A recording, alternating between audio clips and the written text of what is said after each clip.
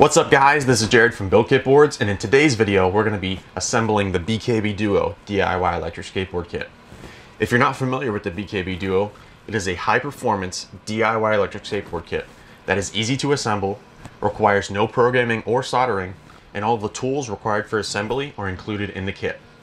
You can learn more by visiting the link in the description, but for now, let's get started with the assembly.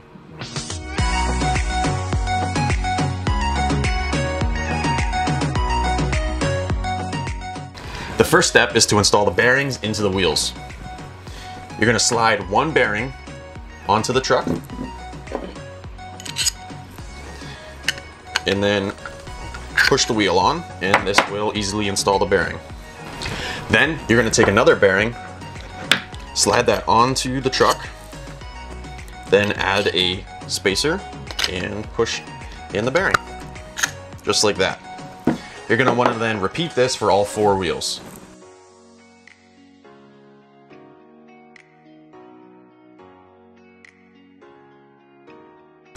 Next, we're gonna assemble the trucks. Remove one lock nut, bushing, and washer from each base plate. Then, add the hanger and place the bushing and washer back onto the truck. Secure everything with the lock nut and repeat the process to assemble the other truck. Then, we are going to add the wheels. Remove one lock nut and washer from each side of the front truck. Slide the wheels on with the words facing outwards and secure them by reapplying the washer and lock nut. Now it's time to assemble the drivetrain. Place the motor with the O sticker onto the motor mount with a dot on each side. Position the wire as shown and secure the motor using four M4 bolts located in the motor hardware bag. Then, repeat this process to secure the other motor to the motor mount. Next, we're going to install the motor pulleys. Take the motor pulley and align the top of the motor pulley to the flat spot on the motor shaft. Then you're just gonna press it on.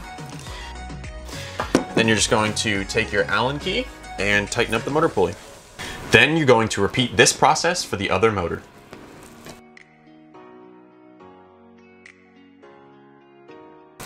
Then you're going to slide the left motor mount onto the rear truck.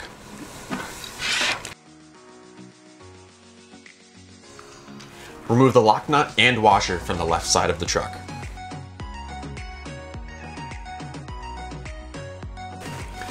After that, you're going to slide the motor pulley onto the truck. And then take a wheel and slide that on as well.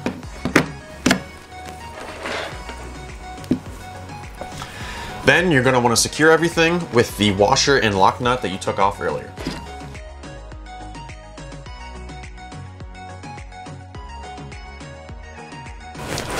Use the motor mount spacer to align the motor mount and then secure it with the two M6 bolts.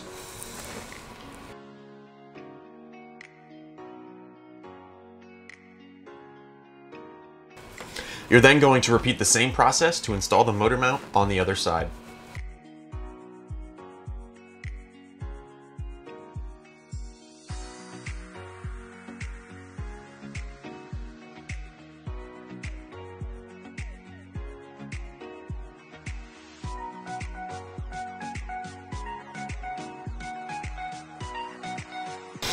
After that, you're going to remove the lock nut, washer, and wheel to install the belt.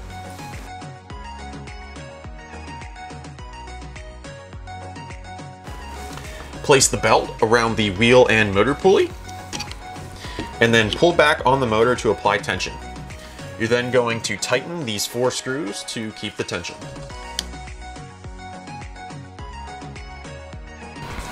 Then you're going to repeat the same process on the other side.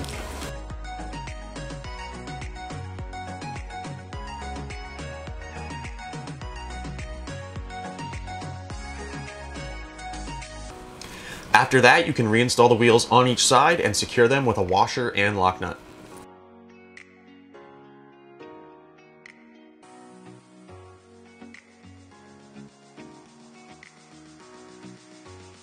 Place four truck bolts through the holes at the top of the deck and add a riser.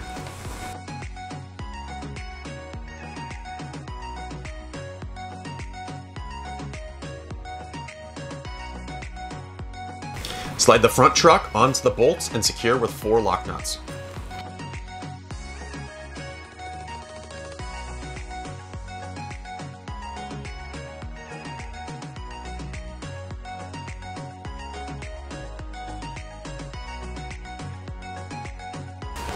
Now it's time to secure the drivetrain. Place the other four bolts through the back of the deck and add a riser.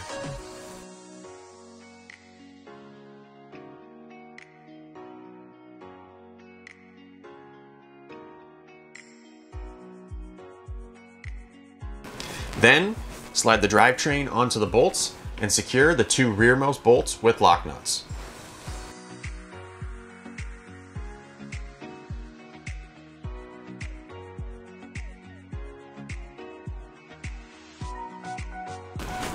Then you're going to add a wire clip to the motor wires and secure these to the two front truck bolts with lock nuts.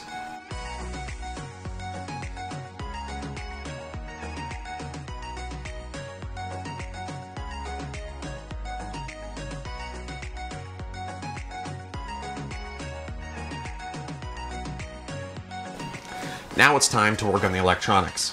Add the heatsink to the back of the ESC using two M3 bolts.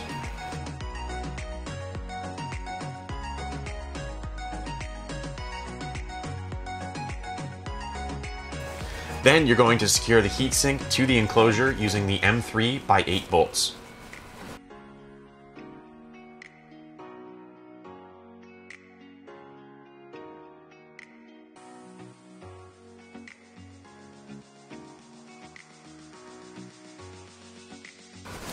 After that, you're going to remove the lock nut from the switch and charge port to get them ready to mount in the enclosure.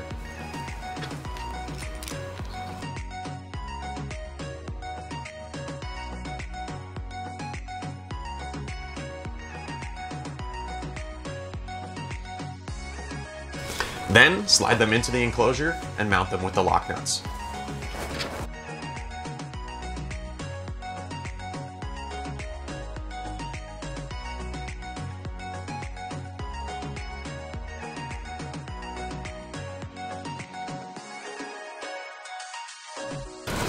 Next, you're going to peel the backing off of the receiver and place it in the enclosure.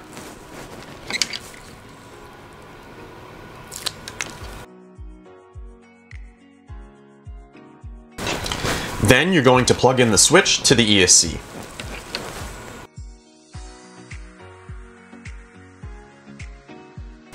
After that, you're going to peel the paper off of the battery gasket and place it in the enclosure.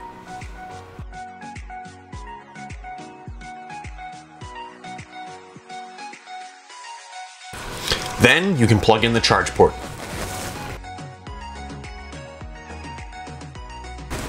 After you make sure that the switch is off, you can plug the battery into the ESC. Then plug in the Bluetooth receiver.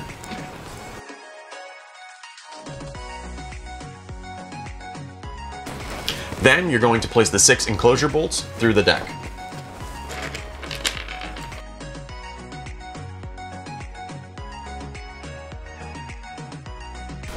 After that, you're going to peel the paper backing off of the gasket and place it firmly onto the deck.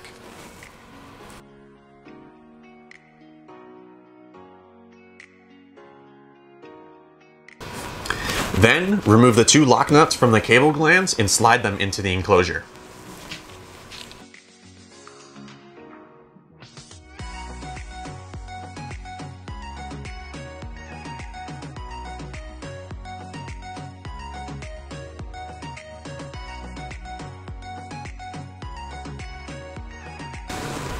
After that, secure the cable glands to the enclosure with the lock nuts that you just removed.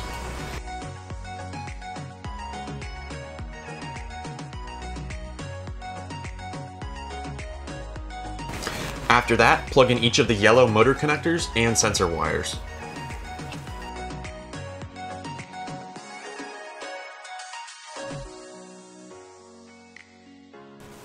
Now it's time to secure the enclosure to the deck. You're going to peel off the thin piece of paper around the outside of the gasket and then flip over the enclosure and place it onto the bolts.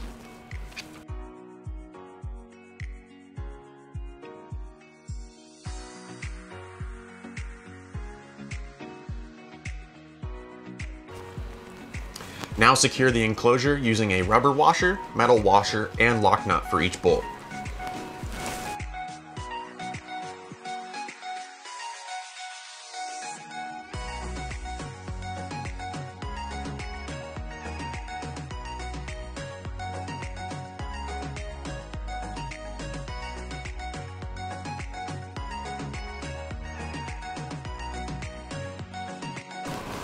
The last step is to add a wire clip to each motor wire and secure that to the deck.